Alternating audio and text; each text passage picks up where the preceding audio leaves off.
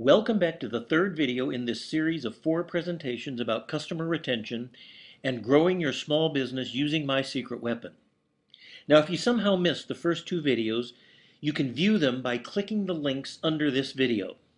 Video number three will make much more sense if you viewed the first two. Here's a quick recap from our previous videos.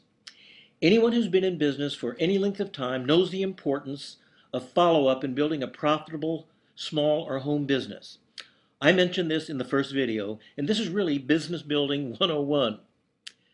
You need a way to generate and stay in touch with leads and prospects. You need to effectively follow up with past, present, and prospective clients. And you need to have a great customer retention strategy. Successful business owners are all masters of follow-up.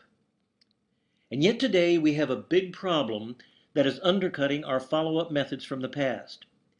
Because of their busy lives and their experience of information overload, customers are increasingly blocking the follow-up messages we send to them. They've gotten email and junk mail filters. They've gotten voicemail so that they can return calls when and if they wish. They've gotten pop-up blockers on their computer so they can browse the internet without interruption. They have caller ID so they can screen their calls. And they've gotten DVRs so that they can record TV shows and zip through the commercials. So our messages are simply not getting through. However, the good news is there is also a big solution to this problem. You can get around all of these message blocking activities by sending out real physical greeting cards and postcards to your customers, cards that are delivered by the post office. So why does this work so well? Well, 98% of the cards that come through the mail are opened.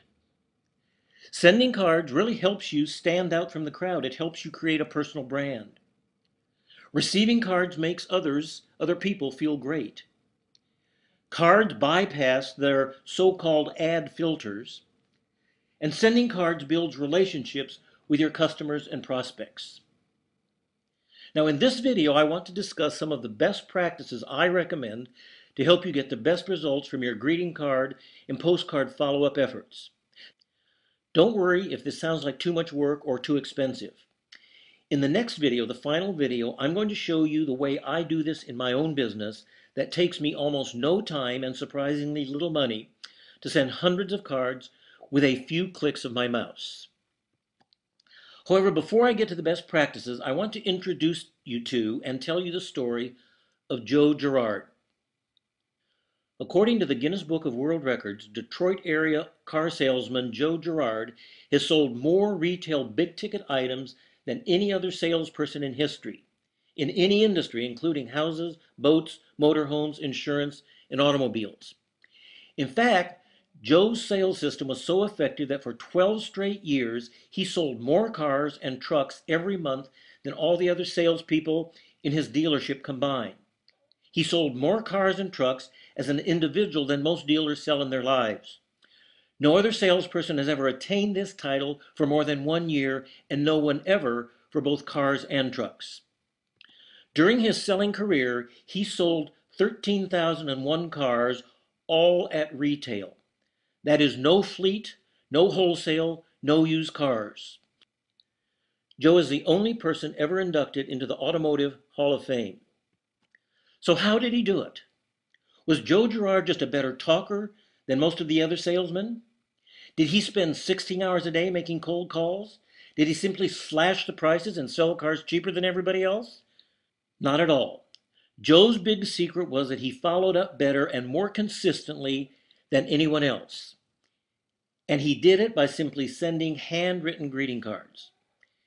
Everyone he met, spoke with, or sold a car to went into his card list.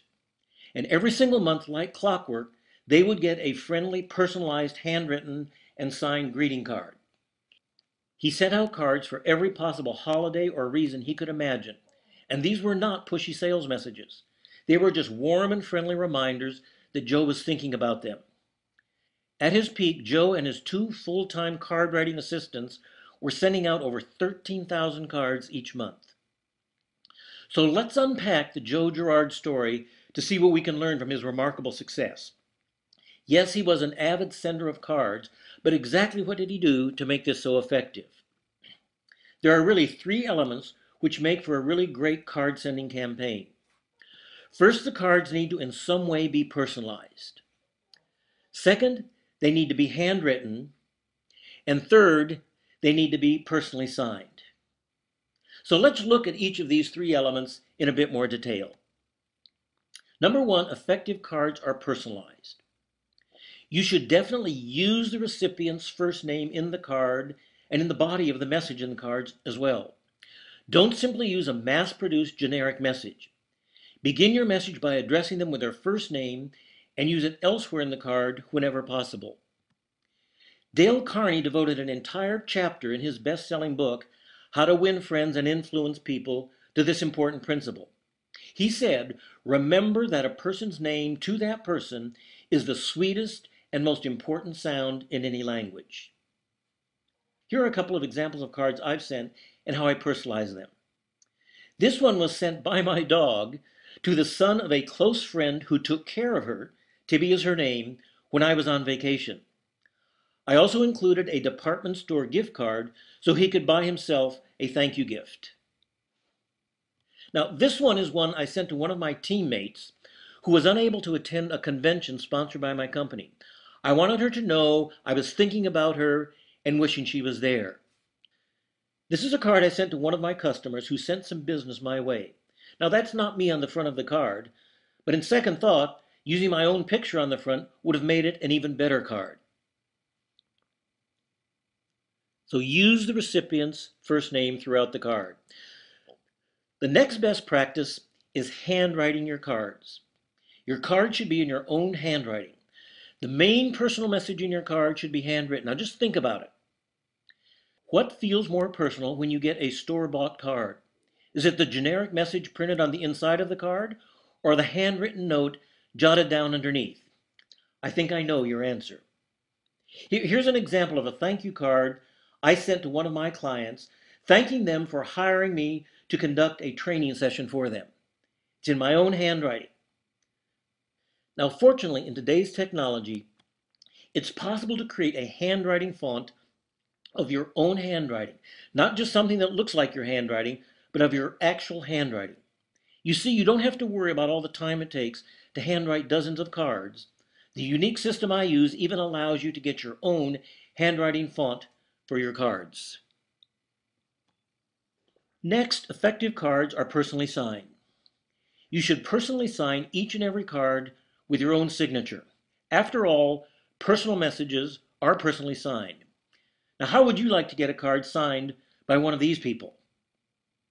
Again, if you're trying to build a personal relationship with the reader of your card, you need to sign the card with your own signature.